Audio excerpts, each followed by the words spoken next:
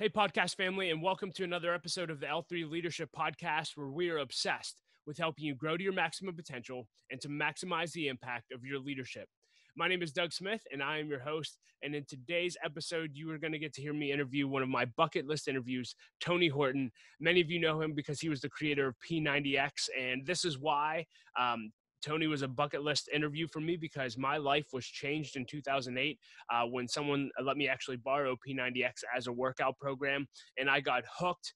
And uh, you know, long story short, ended up transforming my life, transforming my passion for um, health and fitness. And 12 years later, literally, I am still doing Beachbody workouts, uh, following the nutrition plans, and I go, I give all the credit back to Tony Horton because he just uh, created a program that I loved. I love him as a trainer. He is incredible. He fires me up, and I think he's hilarious. And uh, you'll see that throughout the interview as well. He's just as funny uh, behind the scenes as he is on video. So if you don't know about Tony, let me just tell you a little bit about him. Tony is the wildly popular creator of the best selling fitness series, P90X. He also created P90X2, P90X3, the 10 minute trainer, 22 minute Hard Corps, and he's recently created his newest workout, which he partnered with Amazon Prime on, called Tony Horton's Next Level. And you'll hear him talk about that in the interview. And I encourage you, if you love Tony Horton and his workout programs, go and check out Tony Horton's Next Level.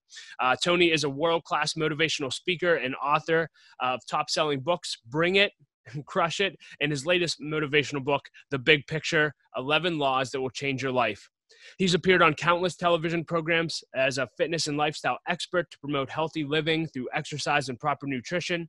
In keeping up with Tony's passion for a healthy lifestyle, he's teamed up with beauty experts at Ultimate Salon Professionals to create his new hair and skin line products, TH Care by Tony Horton, because he believes what goes on uh, what goes on your body is just important as what goes in your body. Tony believes that real and lasting change can happen when we commit to health as a lifestyle. Exercise, whole foods, and the right mindset is the formula that leads to a vibrant, productive, and full life for anyone who focuses on being the best they can be. This interview was incredible. Uh, we talk a lot about Tony's journey. I think you'll be highly inspired and encouraged by his journey. I know I was really surprised by it, and he shares some invaluable lessons that we can all uh, apply to our lives daily as leaders. And so I hope you enjoy this interview. But before we dive in, just a few announcements. Hey, leader, I think it's more important now than ever that you have a community of leaders to do life and leadership with. And that's exactly why we created L3 Leadership. And we've spent the last three months revamping and relaunching our entire membership platform just for you. And it is absolutely incredible. We are more passionate now than we have ever been about developing leaders. And so we're actually, we believe in the product so much that we created that we are giving you your first two months of membership free. Now, when you become a member, you're going to get access to live webinars webinars with nationally known leaders that you'll have access to um, for members only. You'll have access to all of our L3 one day talks. You'll get to connect with all of the other L3 members and have a community of leaders to do life and leadership with, and so much more. And so, this offer for two free months is only good through May 1st. So, make sure that you sign up today. We are absolutely thrilled with the fact that you could become an L3 leader. So, join today. Well, hey, Tony, uh, thank you so much for taking the time to do this interview. And uh, if there's anyone listening to this that doesn't know who you are, can you just give us a brief overview of who you are and, and what you do? Uh, well, I'm a trainer and I'm a writer and I do public speaking and uh, a motivational speaker and I have a supplement line and I have a brand new uh, fitness equipment line that'll be coming out very soon. I've written three books. You know, I've been in the health and wellness industry for a long, long time. I started out as somebody who was a personal trainer to a lot of celebrities, you know, mostly rock and rollers. I kept rock and roll alive from the 60s and 70s. Thank you very much. You know, and Billy Idol and Tom Petty and Annie Lennox and you know other people you've heard of, maybe uh, Ewan McGregor and Bryce Dallas Howard and Allison Janney and uh, and uh, you know some movie stars too. Sean Sean Connery. Submarines. Oh. Don't, submarines don't react well to bullets. Okay, there you go. Thank you very much. Shirley MacLaine, who was part of you know the only female member of the Rat Pack back in the old days you know, I mean, I am 61, so I've been in this industry for a long, long, long time. And um, yeah, yeah, I guess that's sort of the very, very, very short version. I'm somebody who came up with, uh, you know, I was fortunate enough. I was a young actor and a comic and did some improv stuff. And so I had a, I had a lifestyle of trying to become an actor, but I was also a fitness trainer, training all these celebrities and stuff. And so, and the two came together when I started working for NordicTrack uh, up in Minneapolis up there, you know, up there, you know, in Minneapolis, uh, yeah, was the Pope up there on a, in a boat, you know. anyway, so there's my Minneapolis accent. Thank you very much. I'll be here all week. And um, uh, you know, so I really was getting my chops on camera because I was able to walk and chew gum at the same time. You know, I mean, they would hire an actor. They didn't know much about exercise science or kinesiology or anything. And then, you know, they have a, a bodybuilder types or fitness people, and they weren't really spot on when it came to being on camera. And I was able to do that. So that was sort of my my break-in point. And then I met a young entrepreneur named Carl Daikeler, and he said, I want to do this thing called Great Body Guaranteed. Will you do it? And it was just another gig as far as I was concerned. It made some money. Wow. And um, and then it made enough money. So they said, hey, let's do something called Power 90. And I, and I liked that idea. So I helped create that. And uh, I have dog hair on my nose. How about that? My dog sheds and I can feel his dog hair. Um, either that or I have a twitch. I'm not sure what it is. Um, and so we did Power 90 and it just, it just changed my life forever. I mean, it really was. We sold about three or 4 million copies of that, which was incredibly unexpected by everyone, even us. And then the next thing was P90X, which you know I didn't even think that was a good idea. I thought it was too extreme. And uh, but he said, "Hey, I'll give you a year to really develop this thing." And so I I talked Carl and the folks at Beachbody into creating this thing, which we invented eventually called uh, muscle confusion, which was really a lot of variety in fitness. You know, making people who lift weights do cardio, cardio folks lifting weights, adding in yoga, martial arts, all of it.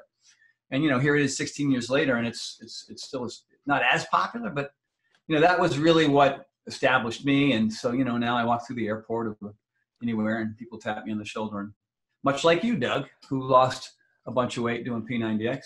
But then since then, you know, I've been still, you know, P90X, X2, X3, 22 minute Hard Corps, one on one series. You know, I mean, we, we made a lot of incredible products. It was a lot, a lot of fun. Now I'm with Gaiam TV Fit and Yoga, um, uh, a program that people are loving called The Next Level. And uh, I'm working with two other companies to develop other fitness programs. And you know, this um, challenge, these challenging times that we're in right now has prevented that from happening.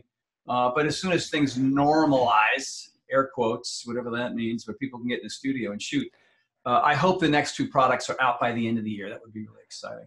And yeah, tell us about tell us real quick about the next level. Like, where can people find it, and what's the premise of the program?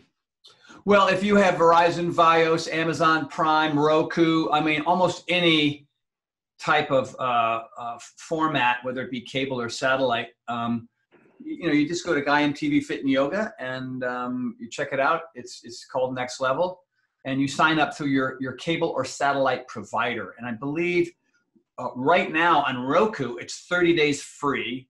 Amazon Prime 30 days free because they're just kind of giving people a break, which is really a smart idea. Right? Yeah.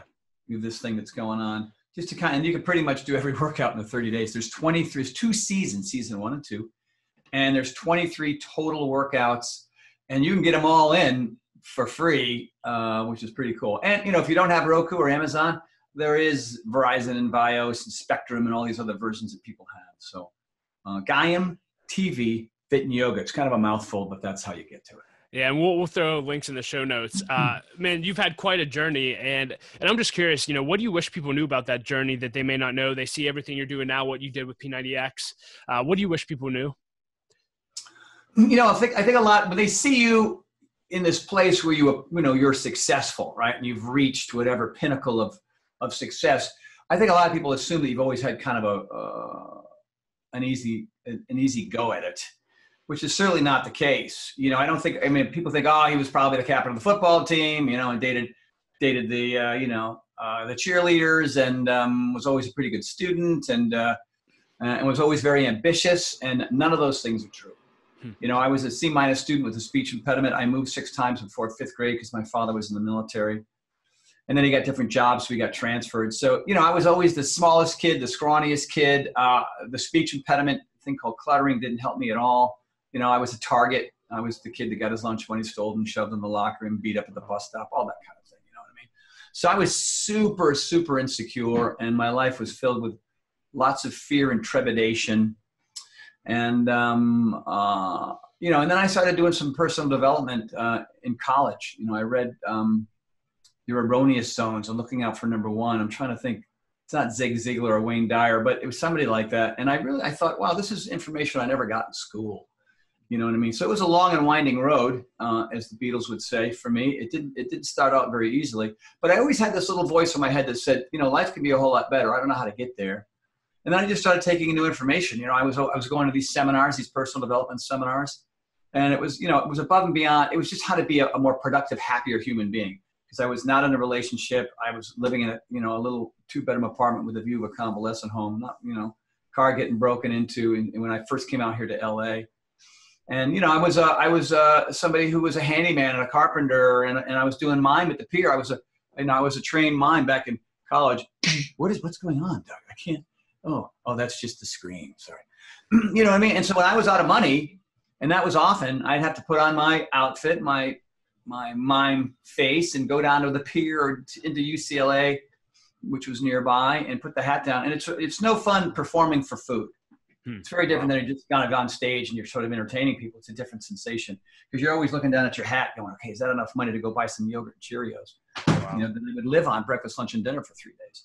Uh, you know, these were really, really hard times, and it took a long, long time. And the lesson in that is, you know, and everybody said, "Stop, get move back to the East Coast. What are you doing out there? You can be a great this or that or the other thing. You know, you could be a restaurant manager, or you could, you know, you could be a salesman or, or whatever."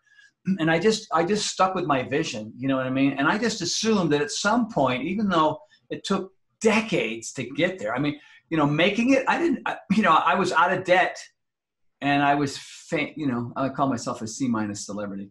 I was quasi famous and successful in my 40s. It took, it took, you know, it didn't happen in my 40s. My, this journey started in my early 20s. I came out to California in 1980 when I was 21 years old. And so uh, it took a long, long, long, long time, but I was not to be detoured. I was going to continue to fight the good fight. And I didn't know I was going to end up, um, you know, as a, as a well-known trainer. this book had a lot to do with it. It's funny. I've been doing a couple of podcasts. We've been breaking up this book. If you've ever read mm, The Magic Lamp, The Magic Lamp by Keith Ellis, you know, um, it just sort of helps you figure out what, who you're supposed to be and how you're supposed to follow your passion. And it would, you know, you, it would, there were these great lessons in there, like write down all the things you think you'd be able to do, things that you're interested in, and then pit one against the other. You know, you make a list here and a list here. Do you want to be a, a jet pilot and, or a movie star? Okay, I want to be a movie star. Do you want to be, and then you go all the way down, and eventually you're just stuck with two things and it came out movie star and gym owner. Over and over again. You know what I mean? Like, you know, if I had to be, if I want to be, you know, a famous comedian, whatever, in the entertainment entertainment field or in the fitness field, I got it in. you know, so hmm, there you go. Can you can you talk a little bit about tenacity and pursuing your dreams? Because you stuck with it, didn't see success until you were in your 40s, but I'm sure there was thousands of others that had similar inspira- aspirations that you did and and ended up going back home and being a restaurant owner uh, or manager like like so many people encourage you to do uh, what would you encourage people to do who who may be trying and trying and trying and trying for years and they're still not seeing the traction that they want to see what would you tell them well you know typically along the way almost anybody who's trying to pursue their purpose or their passion um, or their as the french would say as their raison d'etre is they come into roadblocks, and the roadblocks are enough to sort of kill the journey. So they go back to doing some other, you know, menial job that pays the bills. when I was an acting, when I was an actor, and I had a acting coach, the acting coach said, you know, I want you all to know, and it was a class of 30 plus of us thing. He would say, as much as you all love this this business, it's one of the most brutal in the world, and you probably know that already because of all the auditions you've gone on and all the gigs you never got, you know. And that's just the na- nature of it. And you're here in this class honing your skills. And I, I hope the very best for all of you. And this is his name was Darryl Hickman. He was amazing, a great mentor. Um, and that's another thing when it comes to you know pursuing your dreams, finding mentors. And I'll get to that in a second. But you know, he said to everybody, "You better find a second passion. You better find a second one. And you might not love it as much as you love this, but you better find it. Better be something close. And I don't know what that is. And if you don't know what that is, then you're gonna, you know, then you're gonna flounder maybe for a long, long time. You know, you're gonna live in that studio apartment with a view of the train station into your 50s because you're pursuing this act, acting career, and all you ever got was a, you know, was a, a sleep aid commercial. You, know, I mean, this the, the idea is that yeah. is to is to be successful and to be happy and to be able to afford things and have the life that you want. And it might not happen here. So, you know, one of my one of my what I tell people is if you keep banging your head against the wall even if you have tremendous tenacity and even if you're really organized and if even if you are surround yourself with the right kind of people excuse me and um, then you better find a second thing so i had my fitness business and i had my acting career and i was very fortunate that those two things came together and it could have been just one or the other i don't know but i got a combination of the two um, and and the other thing is you know you can't be you can't be the kind of person who is overly attached to the outcome, right? You know, the past is history, the future is a mystery. You got right now, how much, you know, who are you going to surround yourself with? Find, from, you know, get rid of the chaff in your life, get rid of the people who are the naysayers and the finger pointers and the ones who aren't really supporting your journey and telling you to do something else because that becomes very confusing. You know what I mean? And so, um, that that's super important and and you've got to really you know one of the things for me i had a conversation in a in a, in a podcast yesterday you know they were asking me like what were all what, what were all the things that you felt that you needed to be to be successful you know and and it's wow. funny uh, and and i'll repeat you know authentic bold funny articulate innovative camera ready you know you got to be ready to get on camera and knock it out of the park and you can't be intimidated by this little silly piece of uh, you know this lens in front of you. Um, you know, my industry super fit. Like there's a lot of people who do this who are, remember the first time you went through P90X, you did the program, but you didn't eat right. No, you had to do both, you know, um, and, and, and expanding your vocabulary, knowing the difference between didactic and pedantic. You, you know, I don't know. I mean, you know, you can't be saying um and uh and like and bro and you know I say you know too much, but that's something I have to work on. And you've got to be encouraging and well groomed. Hello. You know, you got to be stylish. There's a lot of things. I mean, I mean, honestly, you've got to you've got to be extraordinary in your field. You have to stand out uh, amongst the others, and those are really really important things. And you have to work on those things. And for me, you know, I was going to acting classes, improv classes, doing stand up comedy, um, going to scene study classes, going to the gym five six days a week, and showing up at these auditions, getting rejected over and over and over again. And and and being patient i think patience is, is really really important. And just keeping you know your eye on the prize. But but you got to at some point go okay this isn't working whatever this is. Is there a second option you know what is that second career uh, there's a great story of a um, of a gentleman uh, who I didn't know, but a friend of mine knew him, and I love this story because it just it's just so pinpoints, um, you know, how to be how to find your your raison d'etre, your purpose. So he was a, a, brilliant math guy, you know what I mean? He was a great accountant and he got worked with this great firm and and that was really wasn't his thing. He loved, you know, he loved mountain biking and, and any kind of biking. He just loved bicycles, you know, that was his deal. So, you know, he, he got married and had kids and, you know, he moved his way up through this firm, but he's still in a box, you know, amongst other people, you know, looking at a fake fern and, you know, four walls and every Saturday and Sunday, he, you know, he would sneak away or he'd ask his wife or bring his kids to the bike shop, his, his local bike shop in his town. And he was there so much that the manager said, "Hey, you know, you know more than half of my staff. You want to, you want to work here like on a Saturday?" So, oh my, he thought, oh my God, oh, it would be amazing, right? So he goes back, and his wife was awesome and said, "Well, you're there anyway. You might as well get paid to do it, right?" So he started working Saturdays. Then sometimes he worked Saturdays and Sundays. And anyway, long story short, five years later, he owned the place. Wow He owned the place right so you've got this thing where you pay the bills and you make some money and it may not be what you want but your hobby could turn into the thing that you love and could really change your life forever uh, and that i don't know who knows that story is is 18 20 years old so you know who knows you might have eight bike shops by now Oh, that's great. Um, I'm curious. You know, you talked about the things you thought you had to be or wanted to be. Uh, fame wasn't on there, but I am curious. I, have I've been watching the live has gone rock, or I'm sorry, the rock has gone live a few times recently, and and people are saying, hey. Uh, do you like being famous? Do you, do you hate it? Do you love it? And I just think it's an interesting question. And, you know, I know you say you're a C level celebrity, but you're very, very well. C minus. C minus. C minus. There we go. My apologies. um, but uh, I am curious, what did you learn about becoming known or becoming famous? And uh, do you like it? Do you hate it? What's that like? You know, you know what? In all the interviews I've done, this is why you're you're good at this. I've never been asked that. I've never been asked that, and uh, I think I've sometimes mm, brought it up on my own just because it sort of led into one part of the question. Um, I, I like it 97% of the time. okay.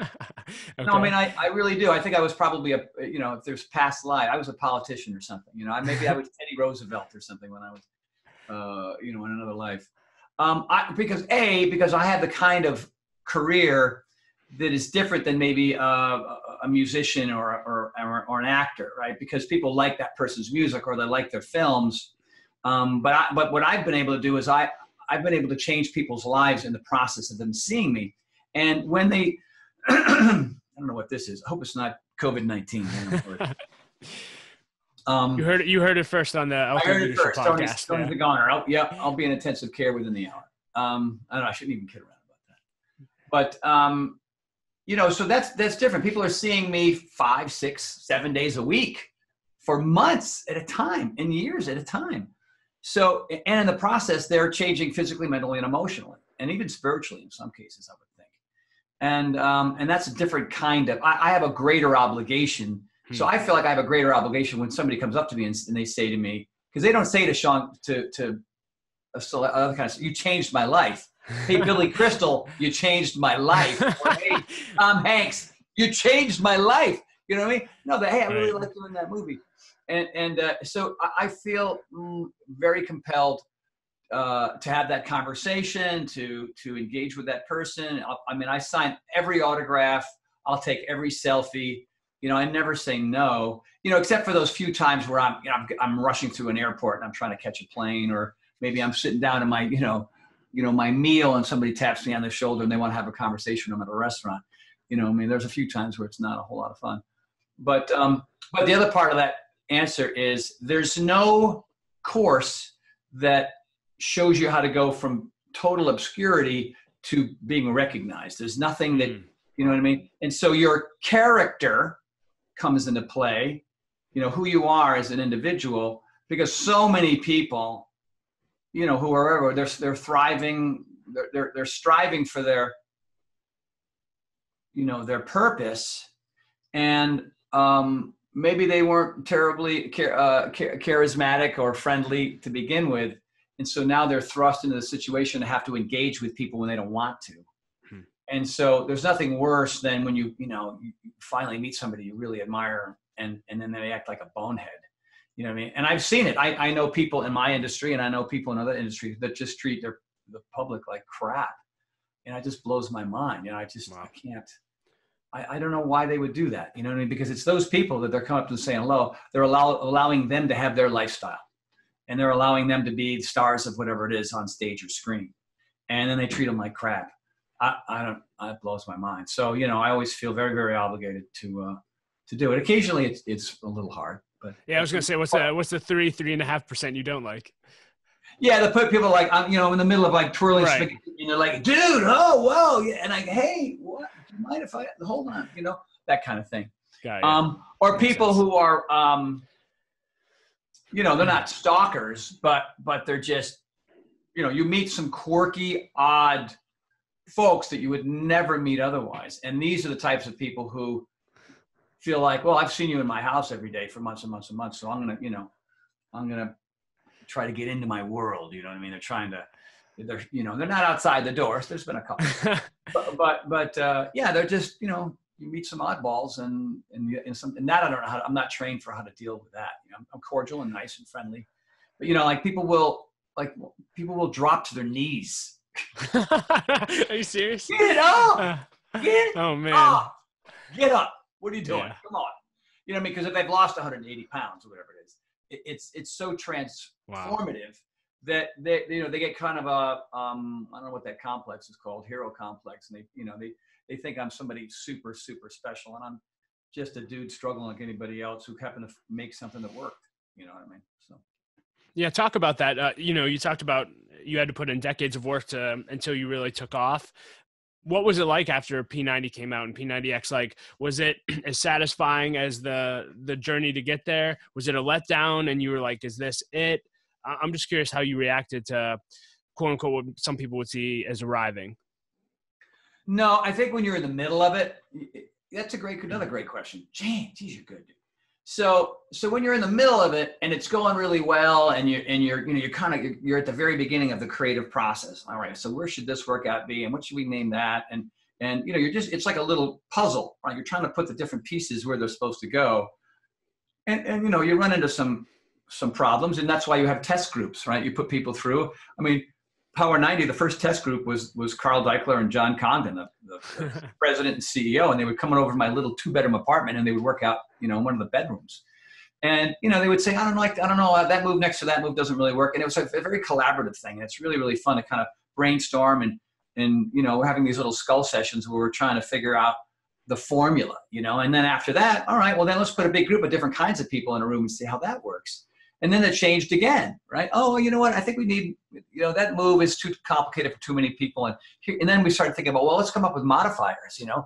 And a lot of programs prior to mine, there was no such thing as modifiers. There was the person in front and all the pretty people in the back, and everybody was perfect. And so anybody looking in always felt like, well, I can't do that. Well, this is no good for me. It's because the, the production crew or the, the, the creators didn't understand that there are people at all different kinds of levels. So I always felt like, okay, watch so and so. They're gonna, you know, mellow out here. They're not gonna jump as high, or they're not gonna reach as far, or whatever it is, and keep an eye on them. And if you look at the Gaiam workouts, next level, there are three very distinct levels. I mean, we've got cameras on each and every one. And that way you can really, all right, I'm going to focus on level one over here because I'm nowhere near level two and three. And so we really took it a, a step farther. And that process is just a blast, right? And then you're in the actual shooting phase, which is, which is for me, initially, I used to get so nervous and so freaked out. But then as I got better at it, it's like, all right, here we go. And you can tell if you look at the original Power 90 workouts, hi everybody, Tony Horton here, and we're going to do some great workouts. And we're going to do some push-ups, and it's going to be great. And then P90X, go! Don't smash face, not. You know what I mean? You can really see how I evolve. Dog hair on my face. Oh, there it is. I got it. That'll be weird for people to watch. Um, but as you can tell, I just do who I am. And uh, so that that's and and then you know, then it's out there, and then you're holding it, right? It's in your hand, and you're looking at the discs, and you're looking at, you know, because there were photo shoots, and there were discussions about the colors and the font, and and then adding the music. You know, it's it's like making a movie, you know. And then, and then you know, you kind of roll the dice. I don't, I'm not really part of the media part of it. Uh, you know, I mean, you you hopefully you've got enough good footage, and the, the folks that are gonna, you know, put this out in an, in an infomercial, you hope it's gonna do pretty well. And then Power 90 went, you know, through the roof, and P90X went through the roof and then, you know, I'm not gonna lie to you, you, you know, when I was when I was making Power 90, I lived in a in this apartment for 21 and a half years. Wow. Tw- the same apartment. The carpets when I moved in were the same carpets when I moved out. You know, I asked the landlord, I don't know, two dozen times, can you, no, no, just we'll, we'll clean them. You know what I mean? It, it, the carpets went from a carpet to basically it looked it was like cement really. It was just there was no pad left. It was just whatever right? And then you know you make something and it does well and these royalty checks come in the mail and you pay off you know you can you can buy a new car and you can pay off all your bills and all your visa cards and all your other cards you know what i mean? And because i had you know like i don't know how many cards i had you know living from whatever credit card to credit card and um and that that's amazing. That's an amazing feeling. You know, you feel like it. You feel like uh, you know you won the, the lottery or something. And then you know, they, hey, you don't have to. You know, what you start looking at houses. Really, houses? you know, whatever. And I didn't. You know, I I was because Power 90 had done so well that I went from a two bedroom apartment and I got to skip a couple levels. And I, you know, I ended up buying a four bedroom home with a view of the Hollywood sign, Santa Monica, with with a guest house. I mean, it was nuts, wow. man. It was nuts. Um, and then the house was empty because, you know, eventually that wave came home. And then we made P90X and then P90X. Oh, I can put furniture in the house and do whatnot, you know. So uh, it, it, it's fun. But in between, in between, it's kind of like, okay, let's go, let's go. What's the next one? And you have to kind of wait your turn. That's what happened with Beachbody. You know, he hired Autumn and Chalene and, and Shaun T. And when you've got a, you know, and Sagi, and all of a sudden, when it was just me and, and uh, uh, who was it? Um, only one one other trainer, Debbie Siebers, we would rotate. So we were always working. And then as as the as as the list of trainers got longer and longer, you're waiting longer. So it's a little frustrating. And you're under contract, right? So you're under contract. So it was like in the old days in the movies. You know, you'll you'll work and we tell you you can work. All right. And you're like, well, I kind of want to work now because I like that feeling of what we were doing before, and I want to do that more often. Um, so eventually, you know, uh, it was important for me to kind of say, hey, you know, this has been a great 20 years with Beachbody. I'm still an ambassador for the company. I still love everything they do. You know, I still promote BOD and I'm doing, you know, uh, pr- promos for double time right now during this, this, uh, this virus situation. So the relationship is still rock solid, but I needed to go, I needed to, I wanted my own supplement line. I wanted my own fitness equipment line. I wanted to do my own, I want to do my next batch of workouts. I wanted to work with more than one company. And uh, so now there's much more freedom and uh, still, you know, at 61, still pretty fit, still doing all right.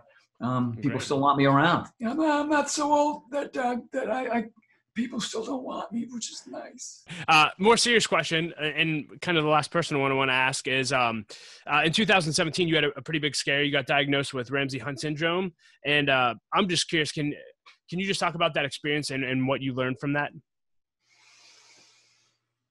Well, I recovered. I re- yeah, absolutely, because that's a critical piece of my life puzzle.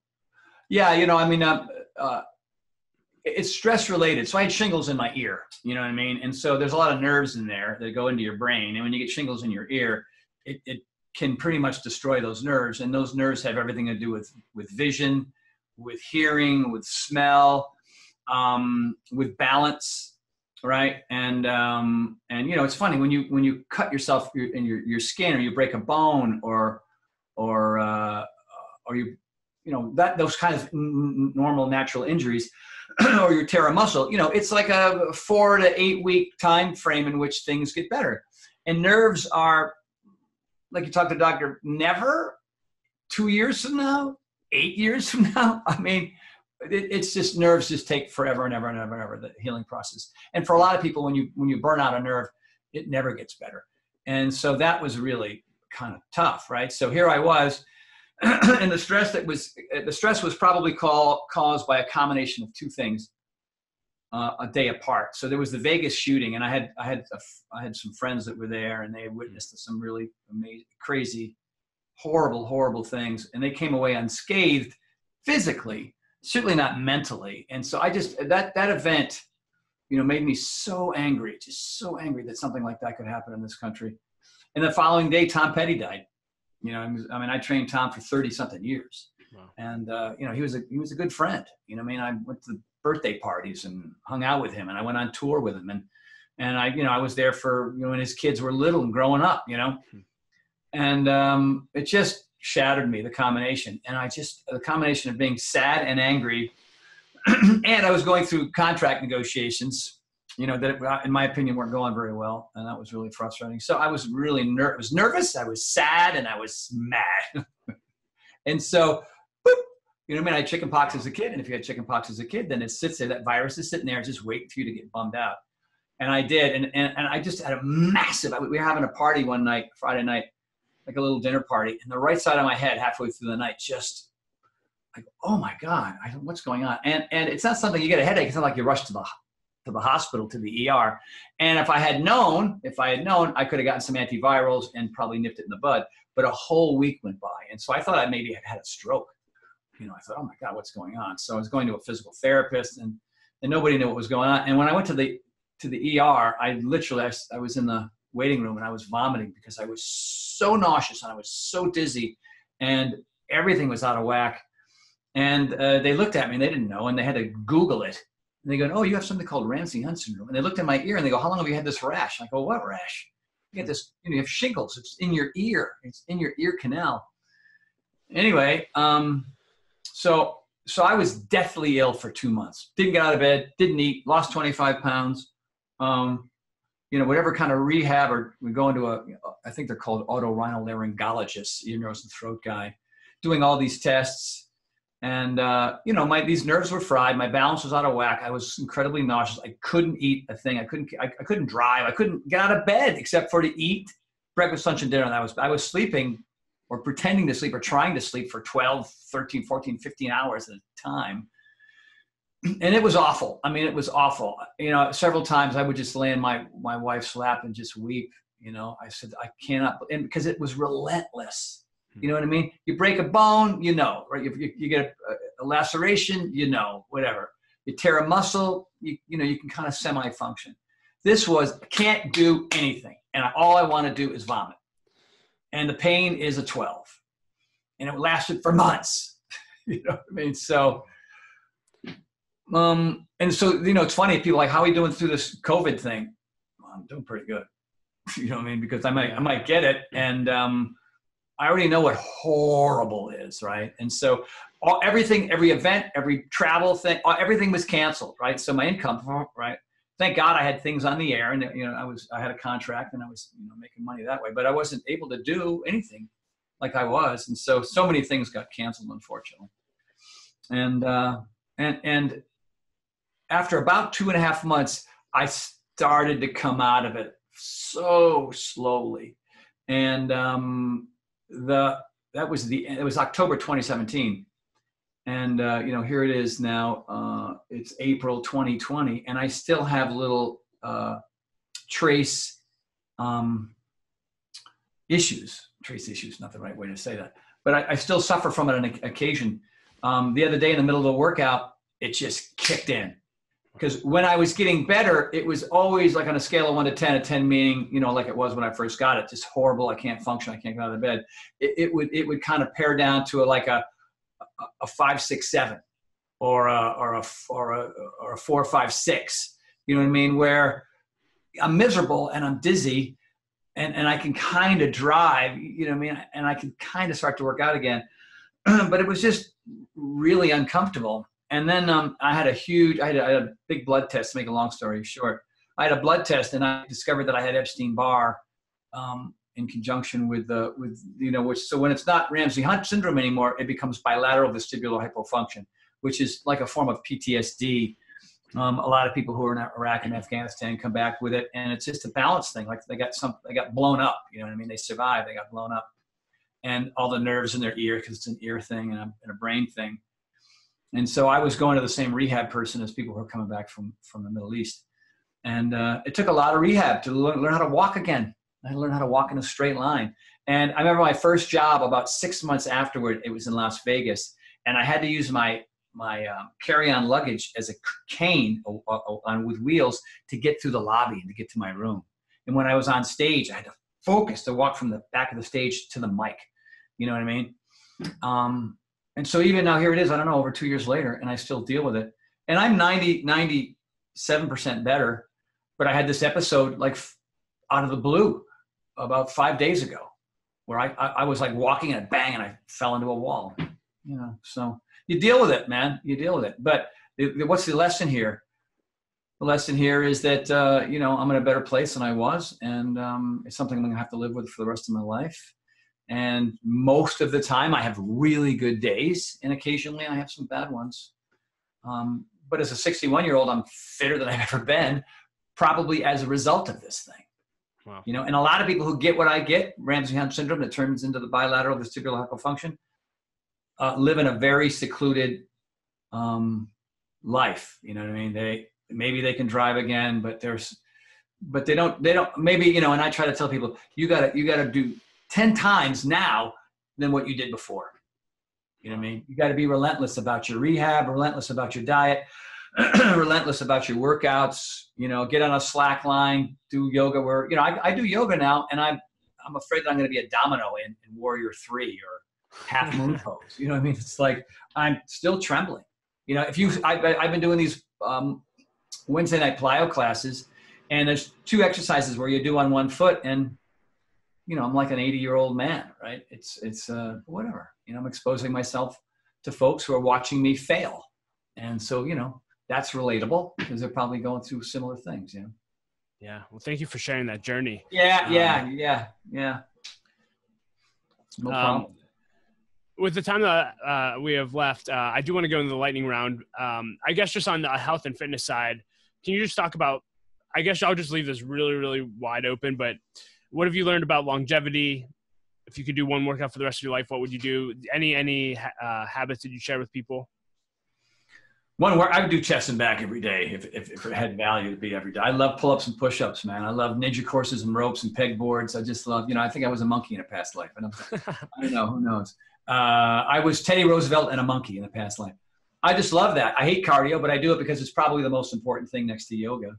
Um, yeah, you know, because at my age, at 61, speed, balance, and range of motion go first, right? So that's why I get my treadmill and sprint. That's why I do martial arts because it's fast you know, and balance, you know, even though I'm not very good at it now, I, I work on it so that it doesn't deteriorate even more, right? And then flexibility. I mean, you look at old folks, even old folks who train often, they're still doing the same routines they did in high school and college. I mean, that's nuts. You got to expose yourself to things that are going to really, really push you, you know. And so, uh, you know, that's why I still do yoga. That's why I still do cardio. That's why I still do, uh, you know, martial arts stuff. And I keep the variety up. I don't lift as I don't lift weights as much as I used to because they're, they're rough on my joints. I do body weight stuff, you know what I mean. But I do crazy body weight stuff. I climb ropes upside down and do whatever, you know. Um, yeah, there you go. All right, let's dive into the lightning round. Uh, just a bunch of fun questions. What is the best advice you've ever received, and who gave it to you?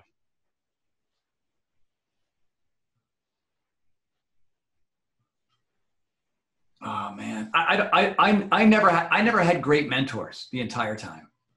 I, I, the books I read were my mentors. So whether it was Keith Ellis or M. Scott Peck or Wayne Dyer or, or uh, Gary Zukav or you know whoever I was reading at the time, I'm a collection of information over the course of decades. I think that the, the first person that really changed my perspective about exercise, and I don't even remember his name, which is really too bad, which was a weightlifting coach that I had in college. And uh, because he was funny and he was relatable and he treated us like like uh, peers and not like just punk kids, you know. And I really enjoyed his company and I really look forward to that class. And I wanted to work really hard for him because he was just a great guy. And uh, that was sort of the beginning for me. And then, you know, those first books, those first personal development books. I mean, I was self-taught mostly. You know what I mean? My dad was traveling Monday through Friday. You know what I mean? There were no coaches or trainers that I had in high school or college that I had that I really cared for. So um, yeah, that's the answer to that one. If you could put a quote on a billboard for everyone to read. What would it say? Do your best and forget the rest. Love it. I was waiting all interview best, for that. Man, just do whatever it is, and your best changes day to day, hour to hour, month to month. But just you know what I mean.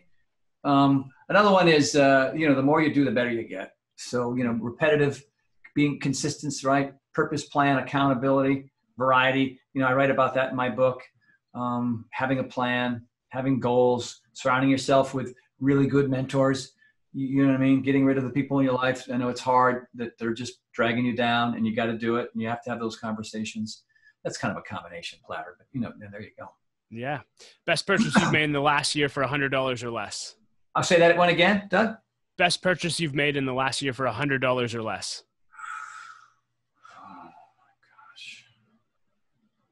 Oh, a hundred dollars or less. Okay, well, mm, mm. you, are you all right? You ready? Uh, toilet paper. John and I stocked stocked up on because we have these Paragon events here at our house. We have like 30 people in from around the world. We had to cancel our March one. Uh, we've had three so far. We had three in 20, 2019. We hope to have a couple more here in 2020. But we always like, oh, you know, because we're gonna have a lot of people here, so we get cases and cases of toilet paper. Yes. Haven't had to buy any since. So that is one answer I've never had before. So thank you. Well, it's true. True. Um, is there you've got to hang out with some really cool people in your life? Is there anyone on the planet left that you'd like to have lunch with? Who's number one? I, I, Stephen Colbert. I want to. I want to. I want to have lunch with Stephen Colbert. Man, I just uh, and Tom Hanks. I just want to hang out with Tom Hanks. You know what I mean? I Can you make that happen? Is it going to happen? I don't know, man. I was supposed to be on Colbert's old show on, on Comedy Central, um, but I got I got bumped, or I'm or my pre-interview sucked. I'm not sure. I think I might have embarrassed myself. Hmm. You know what I mean? Like you know, because I would you know I'm just a huge fan, and uh, you know I think he's spot on. So yeah, maybe one of these days, Stephen, if you're listening or watching, come on, man. I think you're fantastic, and I'd be a great guest. Come, let's do it. There we go. Maybe this will be the thing that makes it happen. Uh, do you uh, listen to podcasts? And if if so, do you have a favorite podcast? You know, I don't. I, I, I really don't. And everybody's asked me to have my own. I think I just have too many balls in the air. And um, uh, and I just uh, Joe Rogan. I've checked out his a couple times because people say, "Hey, check this one out." Um, but I think my new favorite one's going to be this guy, Doug Smith. Doug oh, Smith. thank you. He's my man, my new man, right there. Yeah. Thank you, sir. Uh, what are you passionate about right now? Uh, I'm passionate about my supplement line. I, it's really, really, it's been a long haul. It's taken longer than I expected, but we've we've crossed all the T's and dotted all the I's. We've made some amazing formulas. I'm really proud of them. I'm proud of way. I'm proud about the way the bottles look, the, the photos, the and, and mostly the contents. You know what I mean? What we've been able to do. You know, we've got two plant-based uh, protein powders, chocolate and vanilla, two whey, And these are grass-fed Irish cows, man. I even met the people from Ireland that Oh, take cool. care of these cows, which is really cool. And the combination of, of vitamin D and, and BCAAs and something called HMB. Um, uh, it, it's the, the studies are amazing about HMB, and it really shows that even if you're coming out of surgery or something and you're older like me, or even in their 70s, uh, it can help actually uh, create muscle mass from not doing anything. You know what I mean? And so I've, I've noticed a lot of changes in myself because I work out like a maniac. And there's something called um, uh, sarcopenia, which is a you know which is just when you're in your 40s, 50s, 60s, and 70s. It's just you know it's age-related muscle loss. It's just going to happen, and we've come up with a formula that's going to kind of help slow that or stop that for some people, and that's that's cool. So I'm really I'm really really excited about that. And, and the next level workouts with Gaiam, I, they're fun. People love them. Not everybody knows about them yet. You know, they're still doing uh, uh, Beachbody products that I've done, which you know is fantastic too. Uh, but those are really really great, and a lot of original cast members. So you know, it's fun to do that. I can't wait to do some more. That's great. Uh, do you have any unusual habits that enable you to be successful? Um, that's a great question. Um, yeah, man, it's just kind of a, a. I write everything down. I write everything down, and I have notes everywhere. I have a notepad in my shower that's waterproof. Really? Yeah. You, just, you stick it up on the wall. It's got two little spots, and, I, and like I always get inspiration in the shower. Uh, of course, I have a pad next to the sink where I brush my teeth, where I get ready in the morning, right? You know, so because I don't want to go back into the shower, write things down. I've got notepads, different size notepads with things written on them, right? And Does Shauna you know, love this? Notepads everywhere. Is she a fan? Yeah, no, no, yeah, because she borrows them all the time. She's always she'll write it down, take it on her desk. I mean, literally, look at this, man. This is all. These are all to do things here, right? So, um, and uh, and so what I do is I go through the, my lists and I cross them out, and, and that's that's a you know that's a simple habit. Uh, another one is too is just um, is making sure that I'm dealing with the people in my life that that work for me well. You know what I mean? Like I'm, everybody's up to speed. You know, and some. But in the old days when I wasn't good at, I wasn't good at managing people. And now I'm just checking in all the time. Hey, do we have everything lined up? Is this, you know, because I got a manager. Shauna works for me. I have an assistant. Um, I have two social media people, and then of course all the people at Gaiam TV Fit and Yoga, all the people at, at Golden Hippo that are making my my my uh, supplement line. Just making sure that I'm staying on top of all that. You know, people say, "What do you do throughout the day?" It's just managing those things. I mean, you wake up to 50 emails and you know 20 texts. That, that takes some time to get through that stuff. And before, you know, I would let I wouldn't I wasn't as good at it. I think I'm better now because I made those mistakes. I don't want to make them. Do you have a uh, a routine, uh, a morning routine, or do you just wake up and check email and texts? I, I don't. It depends on the day because my routine, especially now, especially now with this virus, um, you know, I would have my early morning workouts and buddies of mine would show up and, and do it. And I'd have my afternoon, late afternoon post work, not for me because I work at home, but I have my friends would finish work and I'd have another group of people showing up at six o'clock or 6.30. Um, and so that's all been shattered. And now I'm, I'm falling into my natural rock and roll pattern of staying up really late and sleeping in right? And setting up a podcast like this at 11 o'clock with you.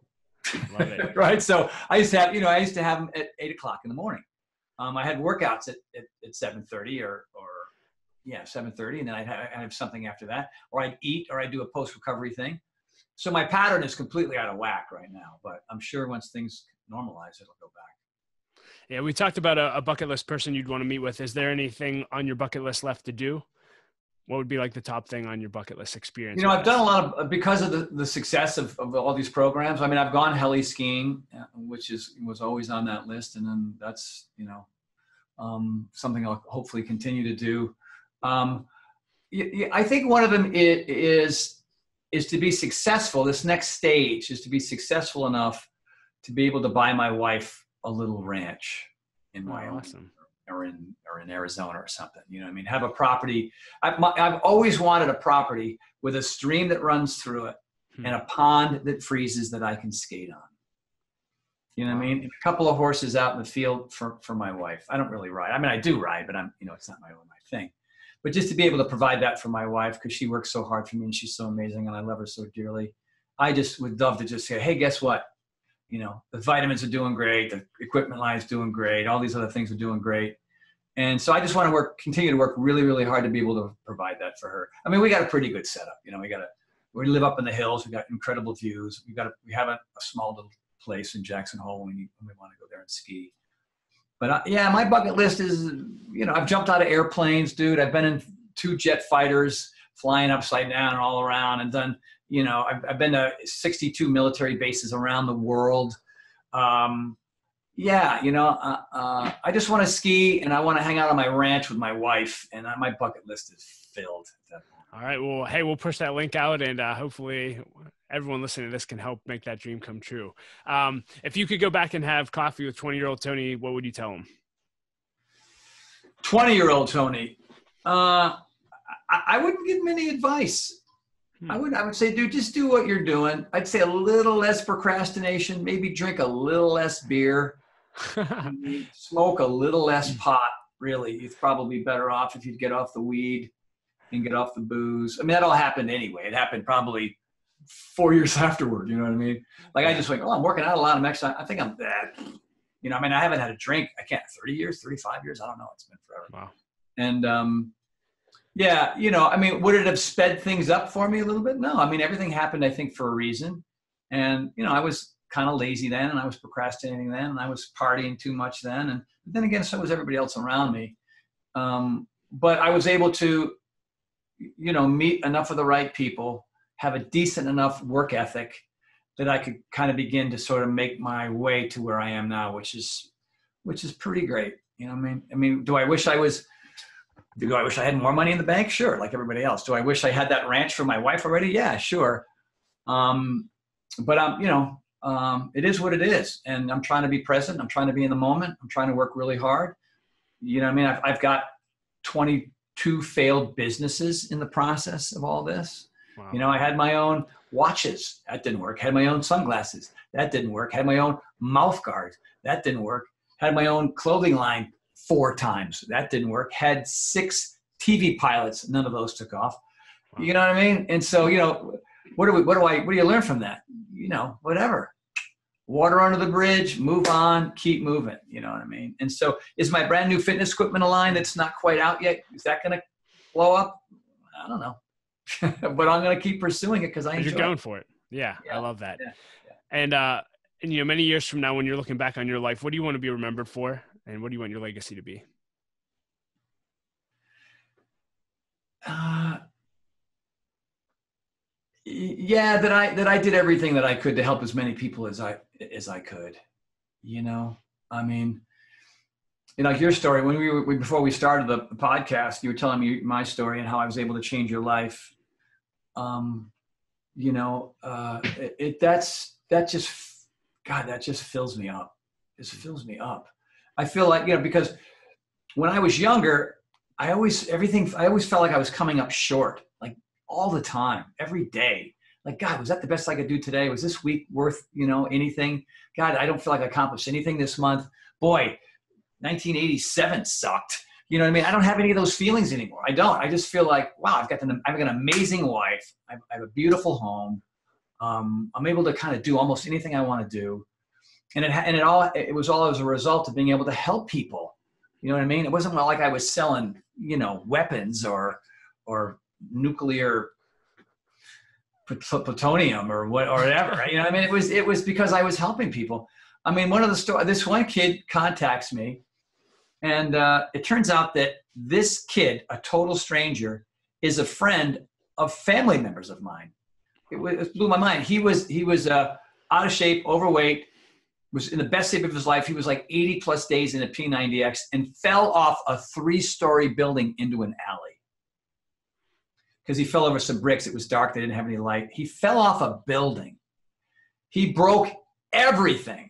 Wow. Broke his face, eye sockets, arms, wrists, fingers, ribs, because he landed upper body first. The only thing he didn't, he didn't break his legs was the only thing. Everything else was destroyed. He he his um he was uh, pronounced dead three times. Priest came in to give him his you know his final a couple times, you know.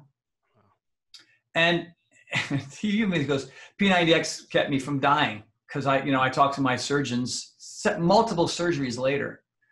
And uh, I got that note, and I had a phone number at the bike because he contacted me through my website, and I called him up, and he said, all my doctors said if I was in the shape I was in, if I didn't have the basics muscular structure that I had, I, I would have I would have died on the spot.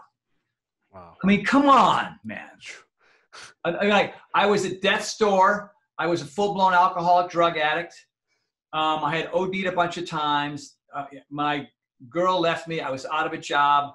Then some friend of mine introduced me to P90X. I became a trainer. I married the woman of my dreams, and I have three kids. And the fitness is part of my life now. That you know, those are just two, and there are hundreds of stories like that. Yeah, hundreds. I haven't I collected them. I'm gonna write a book and just have those stories in those in that book. So yeah, you know, I want to keep doing that. I want to do that till like when are you gonna retire? Retire. I like my gig. I'm gonna keep doing my gig. I mean, I'll, I'll take more days off maybe. But. So oh, yeah. that that that legacy right there, I, I you know, I'm blessed. I'm blessed. Very fortunate. I'm one of those stories I told you. So thank you for transforming my life. I can't imagine my life without you. And uh, is there anything else you want to leave our listeners with today? Um, gosh, no, I think we covered a lot. Yeah. I mean, usually at the end, I have a little sort of a, uh, you know, I'll leave with this. I'll leave with this. If you feel like you're stuck and you feel like there's a, you're not quite where you want to be in your life, whatever, whether it's physically, mentally, emotionally, spiritually, you know, I mean, there's a lot of things that we can do, a lot of things that we can read, a lot, you know, there's a lot of, practices that that we hope will will will alter things and change things.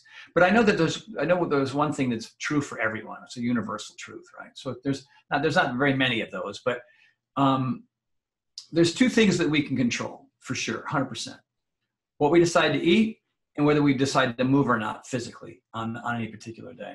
The traffic, the weather, your family, whatever, the coronavirus, work, you know, I mean, there's so many things that are out of our control. And it's those things that are out of our control that makes us crazy, that, that creates all this frustration and fear and trepidation, right? So, you know, it really comes out of brain chemistry, uh, you know, and so when you're eating the right kinds of food, because, you know, I had this bilateral vestibular hypofunction and Epstein Barr, and I dramatically changed my diet, and that has been suppressed.